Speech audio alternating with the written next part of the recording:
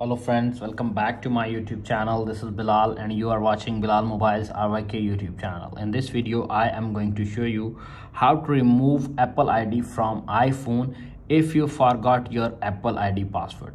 So guys, without waste your time, let's start this video. Before start the video, firstly you should subscribe my YouTube channel and press the bell icon for more latest tech videos if you forgot your apple id password how to remove apple id password from apple id from iphone ipad and ipod touch and macbook also without computer without any third party software. Keep watching the video until the end and follow all steps. Tap on the settings. Tap on apple id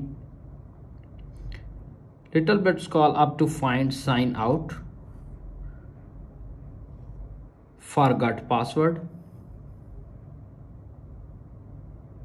Wait 5 to 10 seconds. Enter iphone passcode. The passcode you use to unlock this iphone can also be used to reset your apple id password.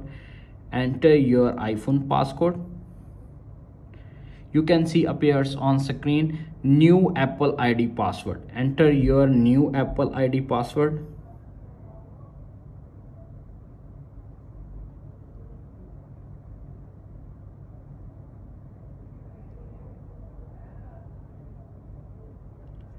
and tap on the top right corner of the next button. Tap on next. Your password has been changed from now on. Use a new password to sign into your account. Tap on done wait 5 to 10 seconds. You can see appears on screen. Keep a copy of your data on this iphone. Data removed from this iphone will still be available in icloud. All items will be removed from wallet. Car key are also permanently removed and you will need to manually add them again. Tap on sign out.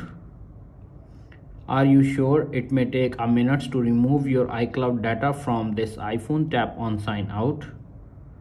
Wait 10 to 20 seconds more to complete remove apple id from iphone without computer without any third-party software.